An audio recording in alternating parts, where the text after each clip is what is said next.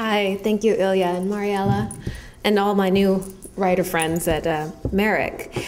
Um, so I'm going to read a lot of, um, I say a lot, that sounds scary, but they're very short little lyric poems from Storm, um, as well as a couple of poems from uh, Colosseum, which is a book that is coming out uh, right now and um, has some other poems about ancient ruins and then more about New Orleans, the kind of unfortunate and easy uh, parallel to poems I had been writing about ancient structures that had been destroyed, like the Roman Colosseum, um, structures of sanctioned violence by ancient governments and things like this.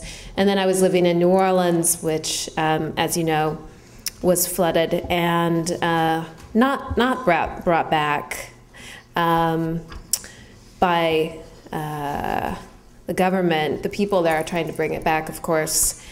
I did not stay, but I lived there uh, at the time. And the first poem I'm going to read is called Beirut. And the reason I wrote a poem called Beirut um, is because my mother in the early 80s, when I was about five years old, always talked about Beirut as the city that was uh, being torn apart and that uh, no one could get out of. And I just remembered this, this word when I lived in New Orleans as this kind of feeling like perhaps this was a similar situation and a word from my, my childhood. She also has the same transistor radio that she has had for about 40 years. So the radio becomes big in this book. Beirut. Ruin is a promise we make to each other. I am born the day Saigon falls and Lebanon takes to its own throat a club. On that day, Southern soldiers tear their uniforms for the Saigon River to bear to open water. The lucky are in boats, their papers burnt into red locusts of no detail, a swarm of no birth, no party, in flight, in fall back towards the river of garments, drenched of each frantic gesture that pointed to a cryptic sea. For two days, my mother lies flat with pain.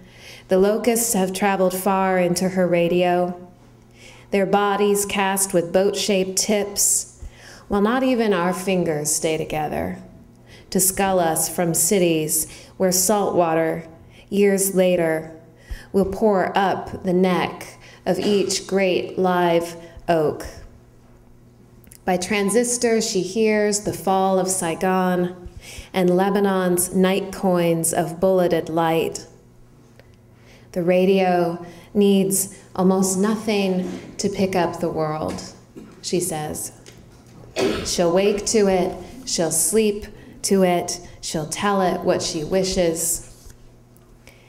As a child, I'll watch her turn the small dome of the dial in which many lives crowd to transmit the yellowing condition of each country's eye. Lebanon of limestone, Lebanon of sheep. For two days, my mother lies flat. On the third day, the goats of the Lebanese hills tilt their heads, stop their feed, and hear an ancient city begin to break itself in half, and half again, and once more, until the halves are dust in which the olives will not fatten. Only echoes grow from the limestone as screeching birds carry what sounds are human to the white cliff to cry them out. A human cry lives many lives. The gulls are that fierceness made flesh for 30 years, the people of my life lived. Then thousands around me drown. Saigon, Phuket, Beirut, your gulls flew over America and lent her your name. If it is as Socrates says that locusts were human until they heard the song of the world and so captured forgot to eat and drink and died. And if it's true the gods took pity on the dead, enough to resurrect them into ashen, singing things, then so too our songs will have to be plagues.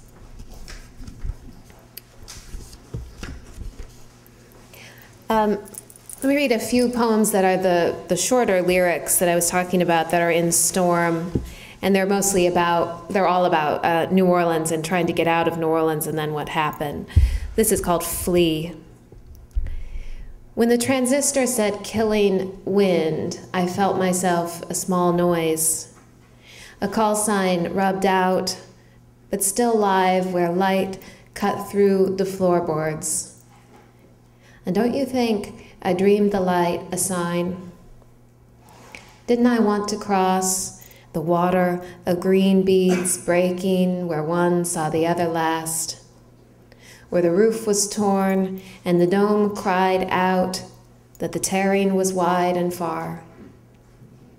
And this is not just a lesson of how to draw an X upon a house, how to mark one dead in the attic, two on the floor.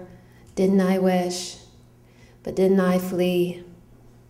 When the cries fell through the surface of the light and the light said light, as if to say nothing, or, what do you expect me to do? I am not human. I gave you each other, so save each other. Uh, tell us. This is about being in the car, trying to get out, and what was going on on the radio, and people calling in, trying to find out what was happening tell us the radio is coming in all over us. A caller asks, What will be done for the animals of the zoo, the oil rigs at sea, the stranded of the dome? First, the storm will take all lanterns, all flags. It will begin at 600 hours, end at 1300, at which time your absolute nakedness the barest accident of you will stand before its organized eye. Therefore, ready yourself, but do not panic. You cannot be ready. This was a problem. Um, we would go to the TV, and the mayor would say, We're about to have, you know, our nightmare come true, basically, and there's going to be a lot of death and destruction, but we cannot panic. That was the language. And that's when you knew you had to panic, essentially. you know, if not now, when, I think is the phrase. Um, okay. Here's a, a poem called Vessel. We were hardly vessels what we took in could not be, and so we spat it out. As dogs spit out the wretched fish, the only meat. We were not mules, though we put stores on our backs, half finished stories, thin mothers in frames. We were never vessels. But I wanted so much to be and swallow and carry and bear and not have a mind to mind, nor a mouth to spit, nor a heart to tear into strips of weed from the sea.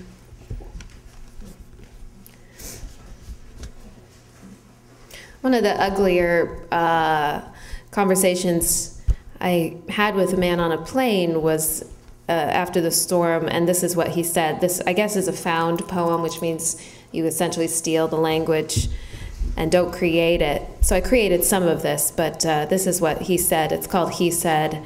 He said that city needed a good cleaning. He said, My buddy, he's in the guard. He said, There were things going on down there the public doesn't even know about. What? Killings, I said, of citizens, I said. Don't worry, he said, not innocent ones. You should have heard my buddy, he said.